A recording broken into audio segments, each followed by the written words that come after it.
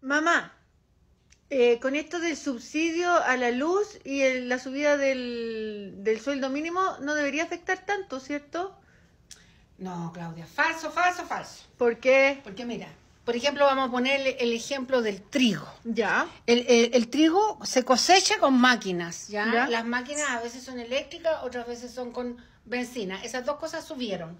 Después que hay una cosecha, eso se hace, eh, aquí se gasta luz, aquí se, ensaca, luz otra vez, después se carga en el camión, otra vez luz, después se lleva al molino, luz, del molino pasa a la panadería, luz, luz. Y todo esto, mano de obra, mano de obra, mano de obra, mano de obra, mano de obra.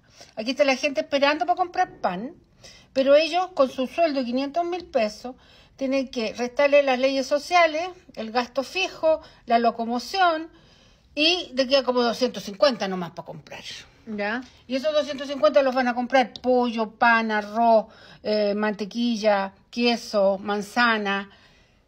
Y todo eso sumado van a poder comprar un puro pan nomás. No a poder comprar los dos que compraban antes. No, y aparte la persona en su casa también le va a subir la luz.